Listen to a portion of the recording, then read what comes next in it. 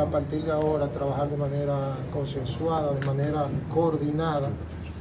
tanto con ustedes, los operadores de ruta, como con los choferes, de manera tal que los traumas que ha ocasionado la construcción del teleférico y el, monorriel en esas inmediaciones que pudiesen ocasionar en otra área, eh, se prevengan en una mesa de diálogo, de coordinación eh, operatividad del mismo. Eh, es importante decirle que aunque hoy estamos hablando del puente hermano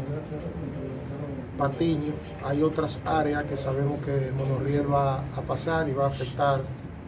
a algunos taxistas, algunas compañías de taxi que siempre han estado ahí por más de por décadas y otras rutas como las rutas que se paran en la parada de Baitoa, las que se paran en la fuente, en el área de Pekín, que hacen parada técnica, que ya por los precios de los combustibles ya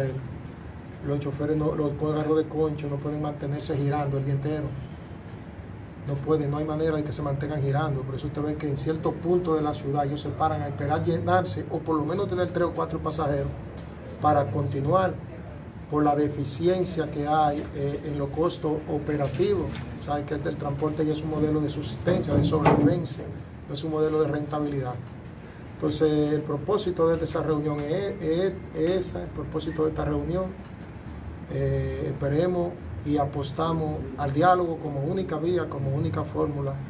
de resolver los problemas y de desarrollar esta ciudad, de desarrollar nuestro país.